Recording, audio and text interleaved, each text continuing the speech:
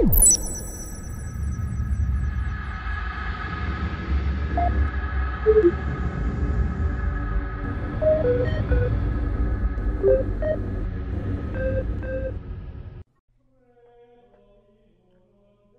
Ork is a stain upon our galaxy, make no mistake. A rampaging mycelial race, born of, it would seem, ancient engineering and design, loose upon the void.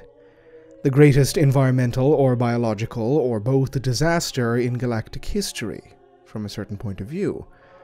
As elaborated upon in a previous record, item identags to be found appended to this one, the Ork is an almost perfectly engineered weapon machine, a facet of their existence not readily discernible to the casual observer of their horrifically degenerate and barbaric character. This Mien almost totally disguises their robust biological. One hesitates to use the word sophistication when discussing these creatures, yet one has no especial choice in this regard. Quite how their race accomplishes much of what they have been able to, despite the, on surface level, contradictory aspects of their existence, is a facet of the biology itself, and one that has deserved its own entry into my chronicles for the sheer ramifications it possesses. Know then that this is a record of the Orkoid race's gestalt and genetic consciousness, the pervasive noosphere that appears to tie their entire race together from birth until death, the bluntly named Waaagh effect. The Orkoid Gestalt, as I will refer to it from here on, in order not to debase Imperial Gothic with the grotesque renderings of their tongue, is, it would appear, a psychic phenomenon unique to the Orkoid genus, and one that permeates all levels of their species at a subconscious and apparently genetic level. As one since deemed heretical Mechanicus Biologus adept posited, it is effectively a manifestation, species wide, of an animalistic pack instinct. This is an apt comparator, as the Gestalt has apparently little to no effect on solitary orks. It does, however, scale exponentially, which is key to how it functions within the macrostructure of this genus. Once orks begin to gather, which they inevitably do, the field begins to form and strengthen, as do the orks themselves. As discussed in one's previous record, orkoid biology is a curious hybrid of features humans have ascribed to both animalia and to fungi, although the majority of the latter's characteristics are found within the organs and adrenal and musculature systems. Their brains are entirely animal and larger than most would anticipate. One particularly overdeveloped region is the paleopallium, what humanity refers to as the old brain the part of the cerebellum that in many species contains the root evolutionary elements derived from biological ancestors. It typically governs baser animal instincts, such as aggression and close social group predispositions. However, the orks have no biological ancestors. This has been the conclusion of almost every major biologist worth their salt, who have studied them in depth and whose capabilities can consider such an outcome that the orks are an artificial, engineered species. Their lack of vestigial evolutionary throwbacks, such as the human appendix, for example, is evidence of a lack of process, as well as the sheer robust durability of their biology. Is the old brain of the orks not a throwback? Based on the treatises of Magi one has perused, no. It was simply selected at their creation for how useful it is. If one is to take the purpose of the orks as a biological weapon system of sheer blunt force, the basic instincts of a predator species would naturally be the best place to begin. But if the brain is largely given over to the instincts that govern the individual, then where does the generative force of the Gestalt field lie? So far, one does not believe either the Mechanicus or the Ordo Xenos have been able to offer an explanation for this.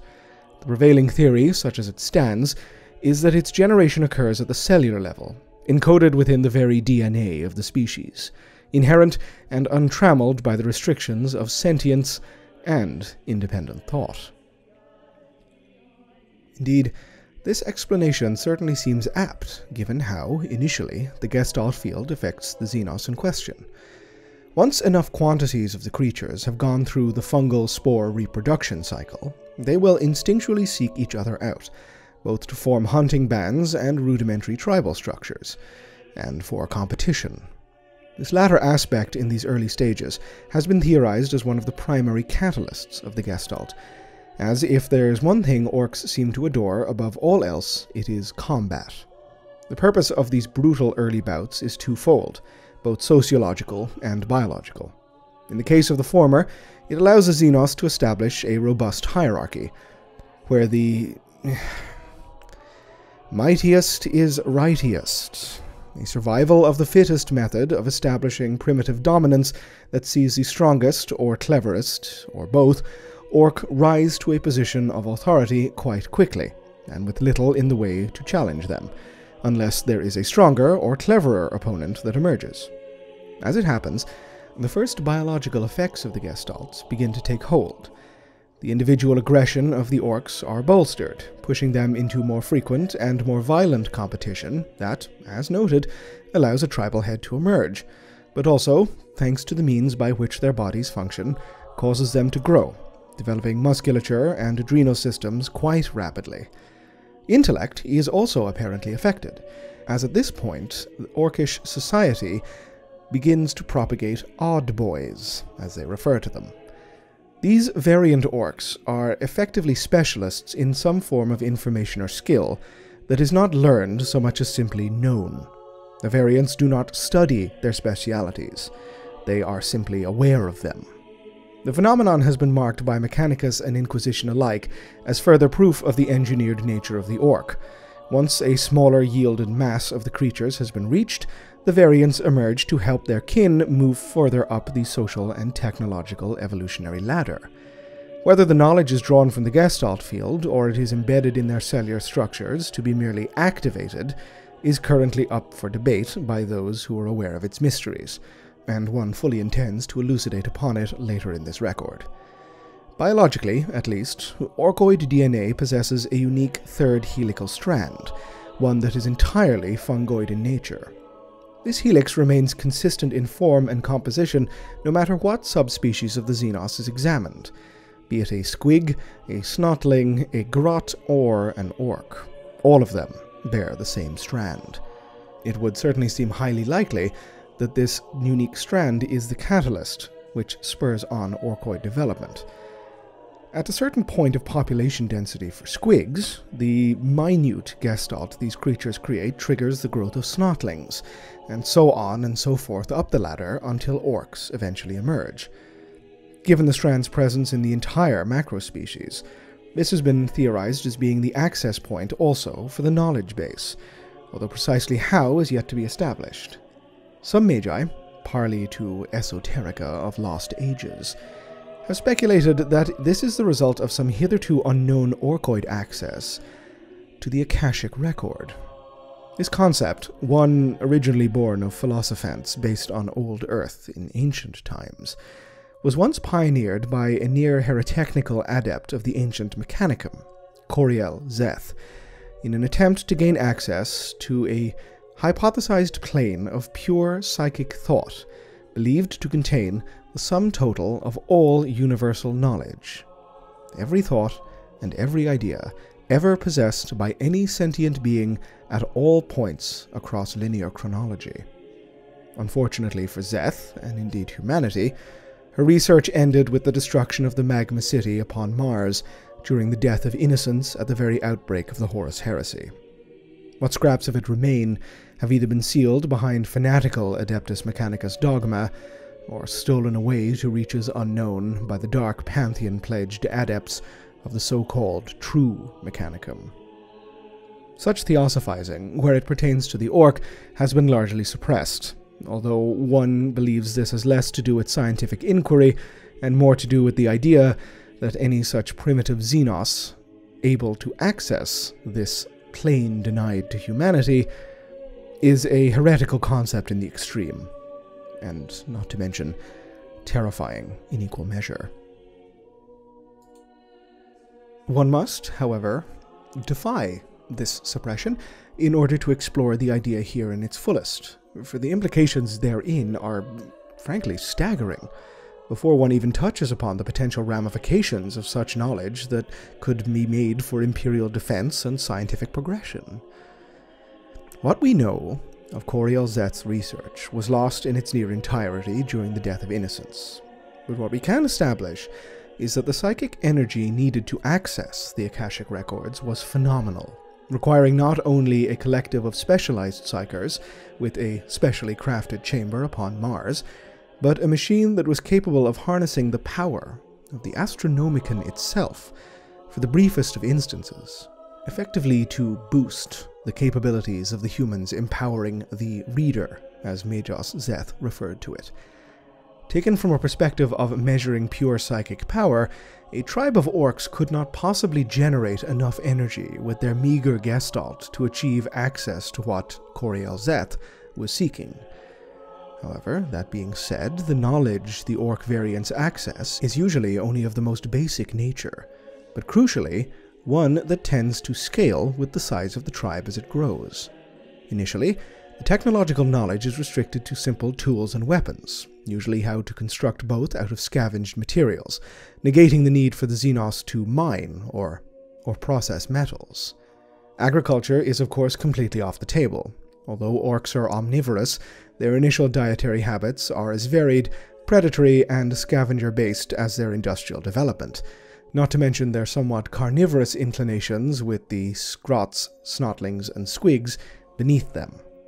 As the benefits of the Gestalt field become more pronounced, the system becomes self perpetuating. The expanded technology brought by the Ork variants allows the tribe to grow and prosper, to seize more territory, and fight more enemies. As more orks join the clan group, the information the variants are able to draw upon is expanded. The physician class becomes able to graft whole limbs and crude bionics onto injured orks, where previously they had only served to augment the species' already formidable healing capabilities. The shaman class reaches a degree of psychic ability that allows them to channel the gestalt field as a human combat psyker would, emboldening those around them into greater displays of violence. Where previously they had simply been spiritual leaders, marked by their fellows as touched by strange Xenos god composites. The technician class evolves from spears and crude ballistics to an understanding of combustion engines and the principles of rocketry, as well as improvements to production lines and industrial optimization, however scattershot and haphazard the latter may be. This is true galaxy wide one may separate two tribes of orks by a whole segmentum, placing them upon completely different worlds, and observe that, in time, the species develops to an almost identical, but still idiosyncratic, level of technology and society, with the devices, social structures, and traditions only shaped by local environments to a certain degree. All of this is literally instinctual. At a certain level of development, usually the one outlined above, all of these variants begin to develop beyond simple parameters laid down by instinctual ork knowledge and begin to experiment. For the medical cast, this often presents as obsessions with a certain aspect of ork biological augmentation, such as training ork muscular cultural development in one specific capacity, or a hyper focus on perfecting the usage of certain bionics. In some cases, this has led to ork variants capable of pushing the boundaries of the species' biology in disturbing ways, such as full cranial transplants to literally graft an ork head onto a brand new body. The technologist class experiments run with wild abandon, often plunging headlong into fields of weaponry that seem to defy the laws of physics. No ork technology is mass produced, all of us is simply assembled with gleeful abandon by those that the Gestalt field activates for its purpose, and by those they beat into submission to assemble the simpler aspects of technology. When captured by Adeptus Mechanicus adepts for study, it appears to all intents and purposes to be little more than piles of junk that seemingly should not function, only upon closer inspection revealing a robust form of competency in its creation. Ork technology merely has to complete the task it is set to accomplishing, usually to go fast or kill as many sentient beings as possible, and in many cases both. The knowledge of the process by which the Gestalt field activates Ork variants, and its expanding power concurrent to the amount of Orks in a local area, has led to a common misconception surrounding its effects upon their technology. Numerous poorly educated Imperial elements have become possessed by the conviction that Ork technology works because they believe it does. That the power of the Gestalt field can turn any piece of scrap that resembles a gun into a functional device capable of firing live ammunition. That it can transform a ramshackle buggy into a powerful land armored vehicle by virtue of the fact that the Ork pilots believe it to be one. Such conclusions vastly overstate the effect of the Gestalt to the overwhelming majority of Ork bioforms. While it is true that the field is not well understood, and while there have been instances that lend some credence to the minor, far more subtle effects the field may have to boost Ork technology, it is not so powerful as to warp the fabric of reality. Ultimately, the knowledge that the field bestows, the empowering effect it has upon the individual ork and their biology, is where it lies. We would underestimate the cunning and tenacity of these creatures at our peril. Many, many humans have throughout history, and none have lived to make the same mistake twice. The knowledge that the ork species simply actualizes into as a social group matures is this true power. It allows orks separated by space, nay, whole planetary systems, to ultimately rise to the point where spaceflight is possible, and the coalition of massive Xenos forces equally so. At this point, we have reached the infamous Horde phase of societal progress, whose name, Waaagh, is naturally shared by the Gestalt field that it has enabled. At this point, the original infestation has developed into a planet, system, or sector threatening military force, as the Imperium has encountered upon countless occasions. Multiple variants have emerged to catalyze various subsections of the Horde, and these variants may often find their experiments with technology or biology push the boundaries of what even Imperial science has considered possible. The war bosses, the leaders of the various clan groups, inevitably submit to a single individual whose body and mind have grown glutted upon the powers of their own internal systems and the effects of the Gestalt field. The devastation unleashed as the Horde careens along its warpath only pulls in more and more orks into the fold, whether drawn by rumor or biological compulsion to seek out the combat the Horde's war boss has promised his underlings. Please also bear in mind that orks do not tire when engaged in combat as humans do, for example. If anything, it actually provides them with energy. Since times long past, the assassination or destruction of the lead war boss has become the standard Imperial engagement protocol for dealing with such concentrations of the species. While this is, of course, a feat easier said than done, it has typically led to an immediate disruption of the leadership structure, as all subordinate bosses begin vying for the prime role, as instinct dictates them to do, leading typically to significant infighting and, ideally, the eventual dissolution of the Horde as breakaway elements seek more fruitful volumes for combat and plundering. This is, in effect, the course their biology has dictated for them, their reason for existence. Propagate, expand, conquer, repeat. When taking into consideration the almost certainty that the Orkoid is an engineered creature, one cannot help but admit to the genius of their function. Every aspect of them, however crude, degenerate, and unsophisticated, is nevertheless finely tuned to achieve bellicosity, endurance, and a sustainable yet exponential expansion.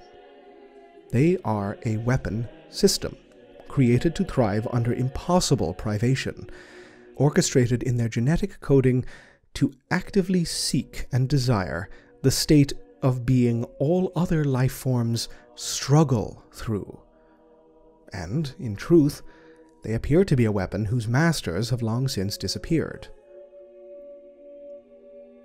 to, however, return to an earlier point. Where does this relate to the potential of the Akashic records? If the conclusions of the learned are to be believed, the orks are indeed a creation of the ancient progenitor species known simply as the Old Ones, whose war with the Necron menace drove them to create biological weapons that would, it appear, one day devolve into the modern ork form. Since the disappearance of the progenitors from our galaxy, long before humanity had even evolved, it is a decent supposition to presume the degradation of the orkoid system has taken place to such a degree that they only possess fragments of their initial capabilities, all save the most robust elements. Just as societies fracture and decay when their more advanced technologies and structures are placed under undue privation or come to lack the skills necessary for their maintenance, so too would the ork, a technological system in and of itself, just a hybrid animal fungoid one, lapse into decay following their abandonment by their creators. It is a testament to the abilities of these ancient terrible Xenos that their creations have outlasted their builders, and risen to a position of, if not primacy within the galaxy, then consistent survival and prosperity. A perfect, self replicating war machine. However, if their capabilities have indeed been degraded, we must presume this would hold true for their ability to access the more advanced aspects of their knowledge base. Perhaps, at one point during their war with the Necrons, the progenitors' creations had access to a far larger suite of potential knowledge, fueled by a more coherent and well maintained gestalt than the rudimentary one they now possess. The old ones were, by Aeldari and indeed Necrontyr mytho tracts, supposedly superlative masters of the esoteric, and one would imagine, given their unrivaled dominance in this regard, that if the Akashic records do indeed exist, their access to them would have been unquestionable. That they, in their desperation in the war of heaven, would deign to create creatures who could do so similarly, but at a primal and instinctual level as opposed to a learned one, all in the name of becoming a better weapon system. The thought is frightening in the extreme, but not exactly beyond the realms of possibility given what we know of this titanic conflict. There is, of course, another possibility, and one that is in some ways quite a bit more esoteric. Fungoid organisms typically form biological structures referred to as mycelia, networks of root structures below and above the loam, or its local equivalent, through which nutrition and even rudimentary information can be carried. It is already a verifiable product of orkoid development that their spore pods, that are used for gestation, form extensive mycelial networks through which said development is regulated and expanded.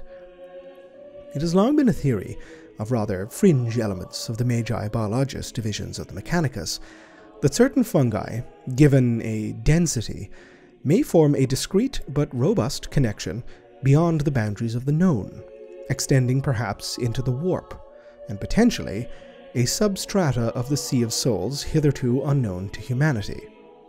This galaxy spanning macro connection, network in effect, removed from the interference of the primordial annihilator and the dark pantheon, would go a long way is to explaining many of the questions within this record, as well as the general resilience the ork bears to the corruptive elements of the warp. In order to elu- no, elucidate is far too strong a word, uh, expand upon certain material heretofore discussed, I am appending to this record a recording of a blood axe ork, of an especially mercenarial variety, during an exchange of materials with a fairly radical member of the Ordo Xenos. Thing is, you hear me, he's got all these big questions about uh, how it all works. We don't really bother with all that. Well, sometimes we do, I suppose. Can't be in a fight all the time after all. And when your thinking meat's not busy working out where's best to put all the Dakka, starts asking questions like, what is Dakka? Where does it come from? And if you've got too much thinking meat for your own good, why is Dakka? Mostly, though, even for the lads with a bit too much meat in their heads, life's simple when you're an ork, mentally speaking. Reckon you lot make it too complicated, in my esteemed opinion. You got this obsession with the truth. What is the truth? Where shall we find it? How will we cut it out of them when we do? And then what if it's the wrong shape and won't stick to the bits we've already got? Well, I'll tell you something, and I'll tell you for free. There ain't no truth. Not to us. Or rather, there's more of it than we know what to do with, so it don't really matter. You know, like grots. And why have we got so much to spare? Easy. What an ork believes is the truth. Even if it's a rubbish ork, even if it's a rubbish truth. And if they have a bit of a think and end up with another, more different truth, well then, that's the truth as well. Now, you all lot got a, a term for this, actually. I know these things, you see. Hang on, I even did some glyphs of it on one of these bits of metal, so I can ever remember. Uh, yeah, here we go. Cognerage dissonance. It's a thing where you believe two things at the same time, and it makes your brain hurt. Well, imagine that. Only instead of hurting, it makes your brain extra muscly. Now you're thinking like an ork. Maybe the reason it's so easy for us to fit all these new truths in our heads is because we're already used to ideas showing up in 'em what we ain't even thought of. Orks just know things, big things, mega things. I'll give you an example.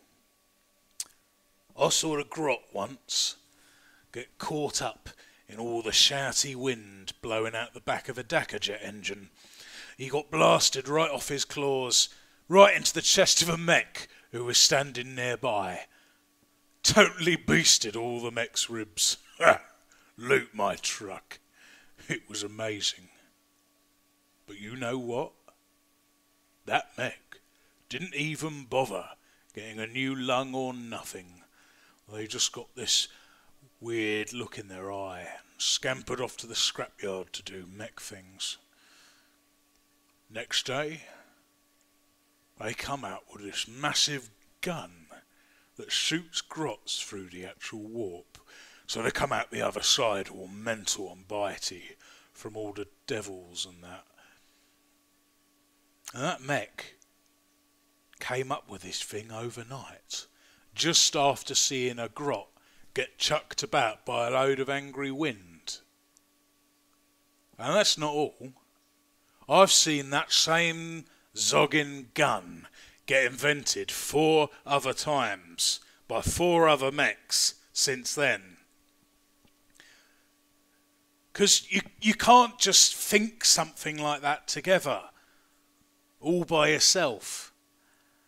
It's like the idea's already there in your blood, maybe your guts or your earwax, and you just need to you need to remember that you know it. Like, well, same way if someone ran up to you with a massive pipe or something and they wanted to brain you, you wouldn't stand around panicking about what your hands were and what they were for. You'd just batter 'em, right? Well, you'd probably call him a heretic or whatever as well, but you, you get my point. Having these ideas in you is just part of being an ork. And it's funny, because the more ork stuff you do, meaning the more you fight, the more other lads you have fighting with you, and the more you win, the more of those ideas you remember, and the more know what's are packed into every one of them. You get enough orks together, doing enough fighting, doing enough winning, They'll make things you wouldn't believe. So, Who hid all these ideas in our blood then? I don't know. Knew a weird boy once. Told me the brain boys designed us that way. So they could just let us get on with it without having to teach us loads of boring numbers and that. And then again, same weird boy, best mate, was an old wheel, and I saw him give a medal to a rock once. So, you know, eat it with a load of salt, as you look like to say. But all this is doing my bouncing. It's like I told you at the start. It really ain't stuff we feel the need to do loads of mega thinking about. What matters is this. All I has got to do to win at being me is be me. Be an ork. Batter stuff. Have a massive laugh battering it. If I do a good job, Gork and Mork, the big lads themselves and the great green, they'll let me know by making me bigger and fightier. If I ain't done a good job, I'll get burst, and I'll zog off back to the great green to wait for another turn. It's a good sort of life. Always wondered why you lot ain't tried it, really. The time you've taken to ask me all this, and then for me to answer, you could have had at least two and a half decent fights, I reckon. Eaten someone's ear for a laugh. Gotten a bullet wound with an interesting shape. Shouted the Emperor's name into a bin. I don't know. Whatever you chose to do would have been more fun than this. So, do yourself a favour, yeah? Grab your shooter, find a git to crump, and crump 'em. Then keep doing that till you get to the git big enough to crump you. Nothing to ponder, nothing to doubt, just mashing stuff forever. it's well good existing. As surprising as it no doubt is to hear a member of this benighted species speak with such relative lucidity and eloquence, we must endeavor to focus instead on the insights that can be gained from the content of this deposition. Much of what has been elucidated upon already has been corroborated, and although, of course, from an orkoid point of view, it does substantiate what Imperial xenobiological intelligence has been able to establish about the species. The references to the Big Green are troubling to say the least. Per one's suppositions previously laid out, this could refer, potentially, to either the Akashic records, which the orks may believe they have some claim to, or the hypothetical substrate of the immaterium, connected to the species through mycelial means. Beyond this, however, the real insight stretches to the psychological. The orks, as expressed by this individual, are utterly unconcerned with all existential questions. Whatever the brain boys, as they refer to their progenitors, encoded them to do, they simply act out. It is blunt, but if this ork is to be believed, it is also a liberating form of existence. Slaved to one's own biology, yes, but not too much beyond that, save perhaps another ork that is bigger than you. This is, of course, programming in and of itself. Orks do not have to care about any of the larger questions their existence raises, and this in turn leads to a society and a culture utterly stagnant, completely locked into patterns expressed through instinct and naught else. Interrogators have often found a difficulty making headway through ork debriefings simply because the species is capable of holding two completely opposing ideas or memories in their minds at the same time. Cognitive dissonance has literally been engineered out of them. What possible use could such a thing provide? If an ork remembers something, then that thing effectively happened, regardless of the objective, empirical truth of the matter. The merging of ego and id in these creatures is as superlative as it is truly maddening but one cannot help but wonder as to what would happen if a member of their species was able to supersede this programming. What happens when a weapon becomes self aware? What happens when a gun realizes it's a gun? If a system like this should somehow evolve past its programming, well, would we not be in the same situation humanity's ancestors were placed in so many millennia ago, during the Machine Wars, at the downfall of the first human galactic dominion? The patterns and behaviors exhibited by the warlord Ghazghkull Mag Uruk Thraka have already caused grave concern amongst members of the Inquisition and the Biologis, worried no doubt that such a crude awakening may already be underway. In seemingly typical Orkoid fashion, and corroborating the story provided by the Blood Axe earlier, the awakening of this ork was thanks to a massive traumatic injury in Ghazghkull's case, a bolt around the skull. Should that wound have awoken some latent programming, or destroyed it? Should Ghazghkull be the emergence of a form of orkoid not seen since Old One warred with C'tan? I shudder to think what that could mean for humanity. The Mechanicus oft warns of the dangers of ancient technology, lying dormant in the outer dark, somehow being recovered and accidentally awakened rampant genocidal thinking machines devoid of all that is holy, actualizing in a universe that thought them long dead. Well, we may yet face a weapon system older still, one wrought by intelligences beyond our comprehension, and who are unaware of even their own potential. We must pray that such a day never arrives. Ave Imperator. Gloria in excelsis terra.